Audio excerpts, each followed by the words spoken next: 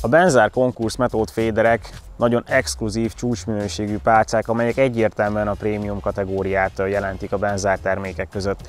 Már első pillantásra is szembetűnő, hogy a tokjuk sem átlagos ezeknek a botoknak, hiszen egy nagyon spéci tasakban kerültek a boltok polcaira, aminek a hátulja vastag szivacsal van borítva, ami megvédi botunkat mindenféle külső behatástól. A botok kettő különböző hozban kerültek a boltok polcaira, amíg összerakom addig ezt mindenképpen szeretném elmondani. 360-as, illetve 390-es létezik a konkursz metód féderekből.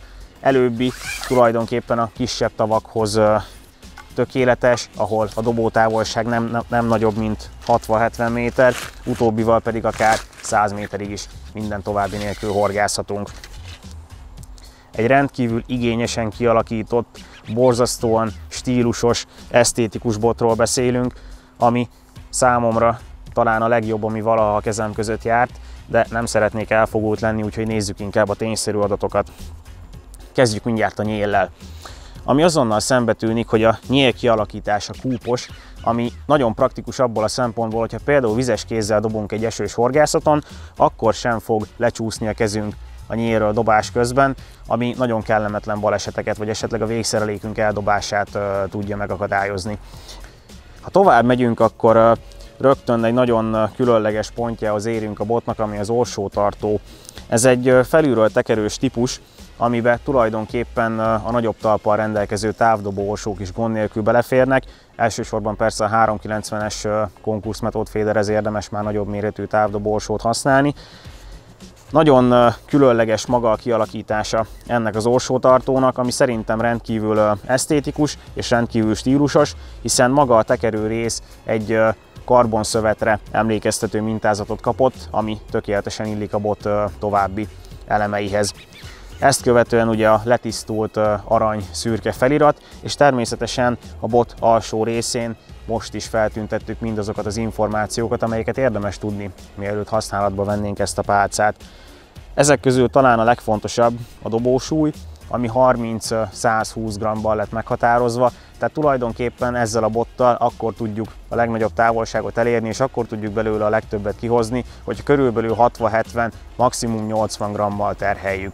Ha tovább olvasunk, akkor láthatjuk, hogy három részes botokról van szó, ami a féderbotok esetében teljesen megszokottnak nevezhető, illetve az alapanyagot is megtudhatjuk, ami IM12-es karbon, egészen pontosan toréi karbon, amit úgy gondolom, hogy azok a horgásztársak, akik figyelnek arra, hogy milyen minőségű botot választanak, biztosan ismernek és elismernek, hiszen az egyik legmagasabb minőségű botalapanyagról beszélünk.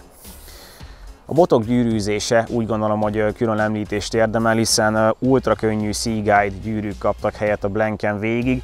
Ezek a spitzgyűrűket leszámítva egytől egyik három talpas rögzítésű, döntött gyűrűk, amik rendkívül jó dobási, illetve fárasztási tulajdonságokkal rendelkeznek, tehát olyan mértékben képesek a terhelést elosztani a blanken, ami az alacsonyabb kategóriájú botok esetében nem megszokott, és mindazok számára nagyon különleges élmény lesz ezzel a bottal fárasztani, akik elsősorban az olcsóbb horgászbotokhoz szoktak. Tehát ez egy olyan élvezeti faktor, ami szerintem mindenképpen említést érdemel e bot kapcsán. Aztán nézzük a stucnikat, ami szintén nem hétköznapi ebotok esetében.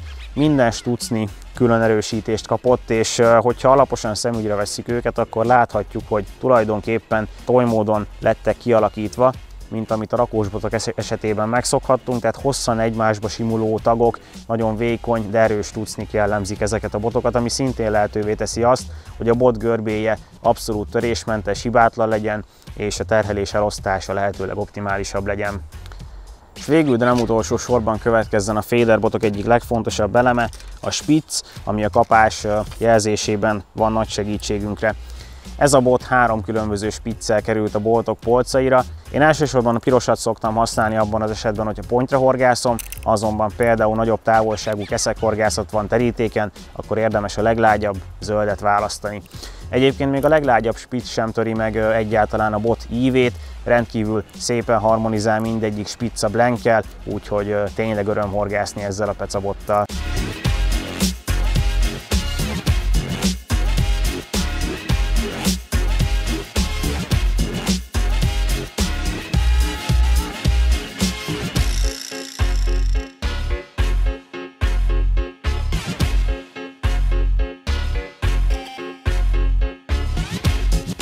Kérdés már csak az, hogy mit tud az a bot, ami miatt annyival többbe kerül, mint hasonló társai.